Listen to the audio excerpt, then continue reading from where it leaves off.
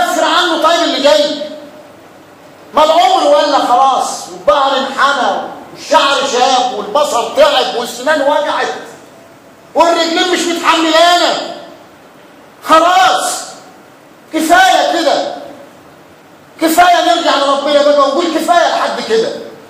روح لأمك وحب على ايدها ورجلها وروح لأبوك وروح لقرايبك وودهم ووصلهم عندما أتى رجل للنبي صلى الله عليه وسلم وقال يا رسول الله إن لي اقارب اصلهم ويقطعوني وأحسن إليهم ويسيئون إلي وأحلم عنهم ويجهلون علي.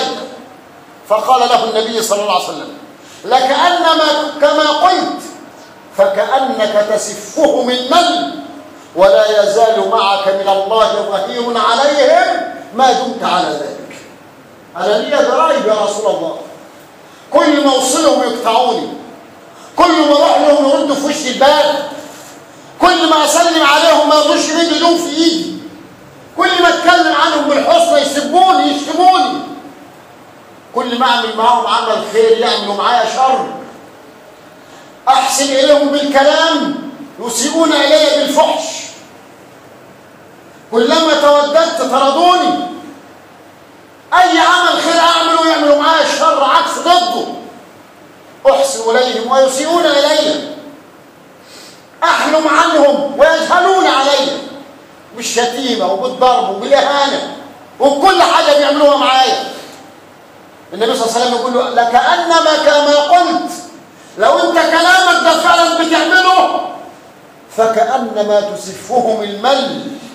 المل ده اللي هو الرماد اللي بيبقى نتيجة الولع والنار بيبقى فيه رماد. حد يقدر ياكل الرماد ده؟ حد يقدر ياكل الرماد؟ المرار اللي في حلقهم ده والذنب اللي هيصيبهم والعار اللي هيبقى وراهم. أصعب من إن الإنسان ياكل الرماد المخلفات بتاعت الولع دي. شوف. الذنوب اللي هيروحوا اللي هياخدوها من وراك. إنما أنت لا يزال معك من الله ظهير عليهم. هيبقى ربنا مسخر لك جنود واقفه معاك. جنود واقفه تحامي عنك. جنود واقفه تتكلم تدافع عنك قدامهم. كل ما يعملوا حاجة غلط ربنا يردهم. كل ما يتكلموا عنك بالفحش ربنا يرزقهم باليردهم ما تخافش. اللي معاك ربنا هيخاف منين؟ ولا يزال معك من الله ظهير. جند من جنود ربنا معاك. ما تخافش. إنما اوصل الرحم اللي انت قطعتها دي. اسعى على قرايبك كفاية. كفاية اللي فات من العمر. هتقعد طول عمرك عايش وحداني. هتقعد طول عمرك واخد عيالك وقافل عليهم الباب. هتقعد طول عمرك ولادك محرومين من الناس.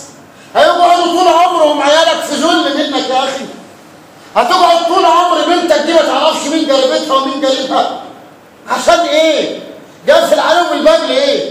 تطلعهم غرباء في مجتمعهم ليه؟ تطلعهم غرباء في اهلهم ليه؟ بسبب إيه؟ خوفك على عيالك تقتل عيالك بإيدك يا أخي. خوفك على عيالك تخليهم يعيشوا غرباء مع أهلهم وناسهم. قل الله في السر